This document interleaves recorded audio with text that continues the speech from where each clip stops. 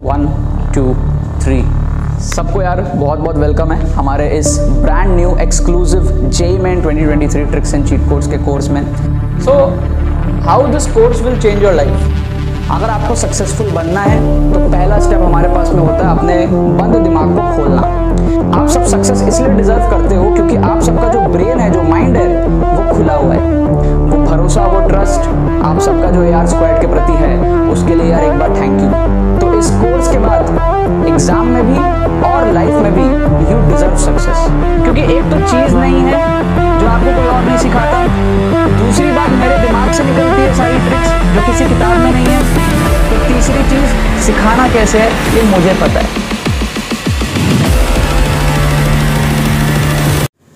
Okay okay, तो यार यहाँ पर मैंने आपके सामने ना 29 जुलाई 2022 के पेपर का क्वेश्चन उठा है शिफ्ट वन से. ठीक है तीन क्वेश्चन मैंने यहाँ पर फिजिक्स का उठाया है और इस वीडियो के अंदर में ना मैं आपको वो भरोसा दिलाना चाहता हूँ कि जेई मेन क्रैक करना बहुत ज़्यादा डिफ़िकल्ट नहीं है। आप बहुत ईजिली जेई मेन को क्रैक कर सकते हो। ठीक है ना? क्वेश्चंस भी बहुत आसान आते हैं और साथ में आप ट्रिक्स एंड चीट कोड्स भी लगा सकते हो जो मैं आपको सिखा रहा हूँ जिससे कि आपके नंबर बढ़े आप जेई मेन को बहुत आसानी से जो है क्रैक कर सकते हो। ठीक है? जैसे देखो ये फ़र्स्ट क्वेश्चन है। बहुत आसान क्वेश्चन है आपको पता है। ये क्वेश्चन मैं इसलिए आपको दिखा रहा हूँ ताकि आपको यू you नो know, जब एग्ज़ाम बहुत ज़्यादा पास आते हैं तो आपको ना डर सा लगता है कि मेरे को ये नहीं आता, मेरे को वो नहीं आता। आप देखो, इतने आसान आसान क्वेश्चन भी जेई में आते हैं, ठीक है? तो आप कर सकते हो, ये भरोसा रखो। अब सवाल है कि इस क्वेश्चन को हम लोग ट्रिक से कैसे कर सकते हैं एलिमिनेट कैसे कर सकते हो ऑप्शंस को? तो यहाँ पर क्या है? काइनेटिक एनर्जी ई है। कब? फेंकने के टाइम और ऊपर जाते के टाइम यहाँ पर क्या होगा? इस तरीके से मोशन होगा हॉरिजॉन्टल और फिर ये घूम के नीचे आ जाएगा। राइट पूरी वेलोसिटी हॉरिजॉन्टल रहेगी। Right so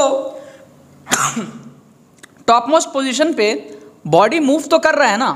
मूव तो कर रहा है तो काइनेटिक एनर्जी ज़ीरो तो हो नहीं सकती। कुछ तो होगी लेकिन ई e तो हो नहीं सकती क्योंकि ऊपर गया है ग्रेविटी के अगेंस्ट काइनेटिक एनर्जी थोड़ा स्पीड स्लो हुआ होगा राइट कुछ ना कुछ हुआ होगा।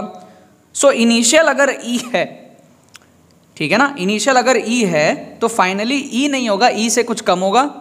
ज़ीरो नहीं होगा ज़ीरो से ज़्यादा होगा क्योंकि मूवमेंट में है। समझ रहे हो? तो इसको कहते हैं क्या? ऑप्शन एलिमिनेशन क्या किया हमने?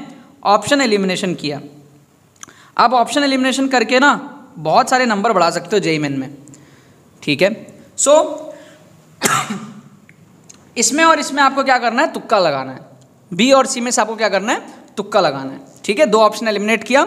अब फिफ्टी फिफ्टी चांस है। सही हुआ तो प्लस फोर माइनस हुआ तो माइनस वन आप तुक्का लगा सकते हो। बाकी ये क्वेश्चन है बहुत आसान, आप सॉल्व भी कर सकते थे। ठीक है? मतलब कॉस स्क्वायर थीटा आप करोगे ना सिक्सटी डिग्री है तो one by four E by four आ जाएगा। राइट चलो नेक्स्ट क्वेश्चन देखो। कैसे हम लोग ना अजम्पन मेथड को यूज़ करते हैं? अजम्पन मेथड को हम लोग कैसे यूज़ करते हैं, आपको मैं यहाँ पे दिखाऊँगा।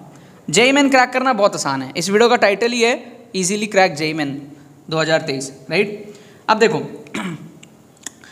अल्फ़ा हमको दिया हुआ है इंक्लाइन प्लेन इंक्लिनेशन अल्फ़ा, ठीक है?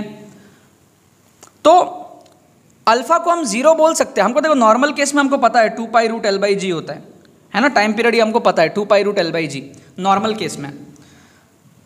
अब नॉर्मल केस में जहाँ पे इंक्लाइन प्लेन है, अल्फ़ा है तो बाकी में से आंसर होगा। एक को तो हम एलिमिनेट कर सकते हैं। क्योंकि जो नॉर्मल केस होता है, वहाँ two pi root L by G होता है। यहाँ पे कुछ मसाला है, ठीक है? अब वो मसाले को ही अगर हम ज़ीरो मान लें, अल्फ़ा की वैल्यू कुछ भी हो सकती है ना, thirty degree, twenty degree, fifty degree. अगर हम अल्फ़ा को ज़ीरो ले लें तो हमारा आंसर जो है, वो two pi root L by G के बराबर आना चाहिए। येस और नो तो अल्फ़ा को ज़ीरो लेने से आप देखोगे कॉस ज़ीरो वन होता है, ये two pi root L by G के बराबर आया। लेकिन ये दोनों देखो इन्फिनिटी हो जाएगा। समझ रहे हो? अल्फ़ा ज़ीरो लेते ही साइन ज़ीरो ज़ीरो। तो root L upon zero infinity tan zero zero root L upon zero infinity ये दोनों ऑप्शन क्या हुआ? एलिमिनेट क्योंकि आप मेरे को एक बात बताओ। अल्फ़ा जो भी हो अल्फ़ा को अगर मैं ज़ीरो मान रहा हूँ, इसका मतलब मैं नॉर्मल केस मान रहा हूँ, जहाँ पे इंक्लाइंट प्लेन है ही नहीं नॉर्मल सा प्लेन है राइट फ्लैट सरफेस तो क्या फ्लैट सरफेस होते ही टाइम पीरियड इन्फिनिटी हो जाएगा? नहीं यार. इन्फिनिटी कैसे हो जाएगा? समझ रहे हो? तो दो ऑप्शन हमारे इस तरीके से एलिमिनेट हुआ। इसको कहते हैं जुगाड़ तरीका। सी वाला तो वैसे ही नहीं होगा, क्योंकि सी वाला हमको पता है नॉर्मल केसेस में होता है। थीटा वीटा दिया हुआ है एंगल है तो सी होने के चांसेस बहुत कम है। तो कुल मिला के हम क्या करेंगे? ए ऑप्शन को तुक्का लगाएँगे और वो हमारा सही हो जाएगा। इसको कहते हैं हमारा जुगाड़ तरीके। से कहते हैं मतलब ऑप्शन एलिमिनेशन हमने अज्यूम किया। क्या अज्यूम किया? हमने लेट किया। Let alpha equal to zero ये हमने अज्यूम किया। समझ रहे हो? मज़ा आया ट्रिक देख के। ऐसे ट्रिक्स अगर आपको और देखने हैं ना, और जैसे मान लो आपका स्कोर जे मैन में 80 से 100 के बीच में अटक रहा है। आपको बढ़ाना है ना अगर, बढ़ा के आपको 160 प्लस लेके जाना है 170 प्लस लेके जाना है तो जे मैन दो का एक्सक्लूसिव ट्रिक्स कोर्स में जल्दी से एनरोल कर लो। काफ़ी सारे स्टूडेंट्स एनरोल कर रहे हैं। अगर आपको भी अपना नंबर बढ़ाना है डिस्क्रिप्शन में आपको लिंक मिलेगा।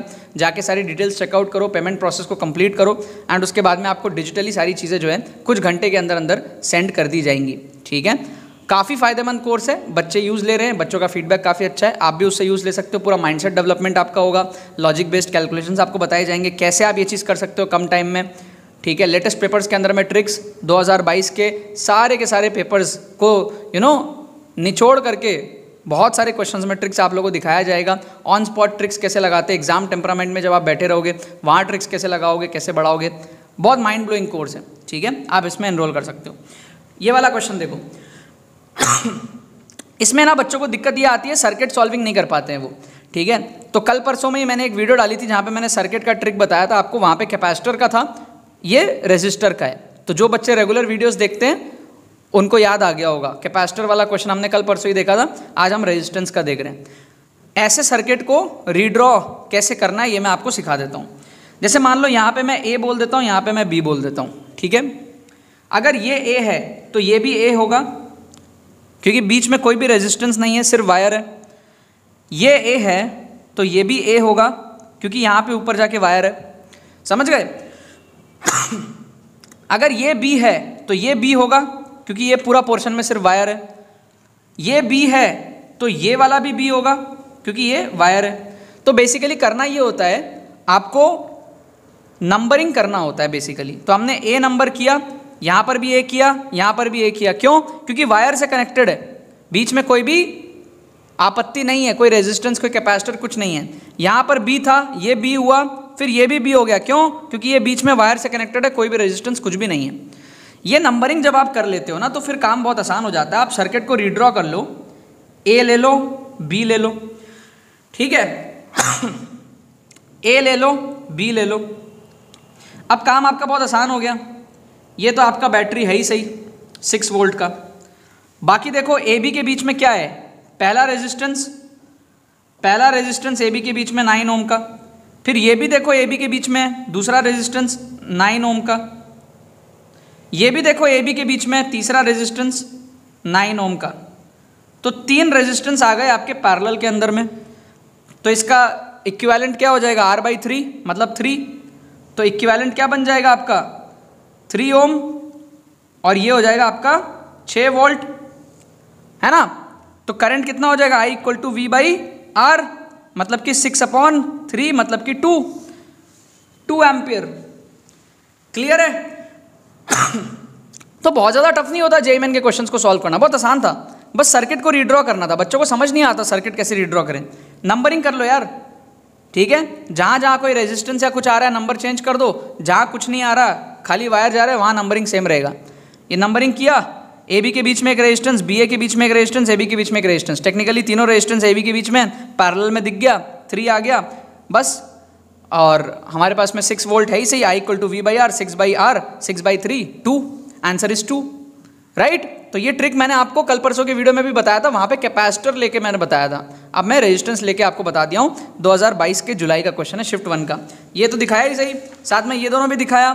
ये तो बहुत शानदार था यहाँ पे, बहुत शानदार तरीके से हमने यहाँ पर जो है ऑप्शंस को एलिमिनेट किया अजम्पन मेथड यूज़ करके।